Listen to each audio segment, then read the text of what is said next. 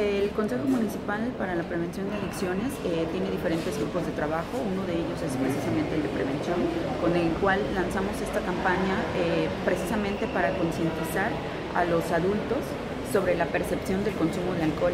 Es uno de los problemas de salud pública que se minimizan y que de hecho el primer consumo frecuentemente es en el núcleo familiar, ¿no? Con una probada de cerveza, una probada de vino y que bueno se cree, eh, incluso se toma como algo cómico, ¿no? El, que los niños lo consuman. Y desafortunadamente tenemos una prevalencia muy alta de los, eh, de los adolescentes que consumen alcohol antes de los 18 años. Entonces va enfocada a que nosotros como adultos somos responsables, por eso es que el eslogan es tú lo permites, o sea, cómo los adultos permitimos este consumo y lo favorecemos. Entonces, eh, desde los padres de familia hasta las personas eh, que están en el expendio de productos en los establecimientos con venta de alcohol.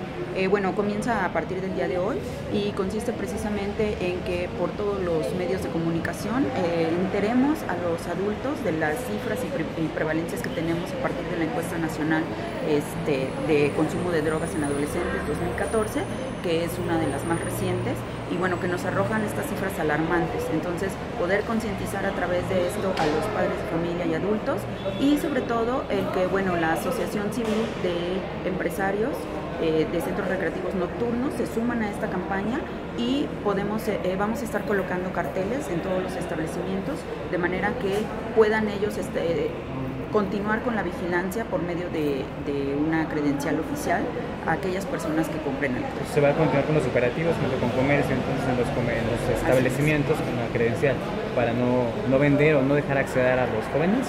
Así es, precisamente el no el venta al alcohol a menores de 18 años es uno de los principales objetivos de esta campaña.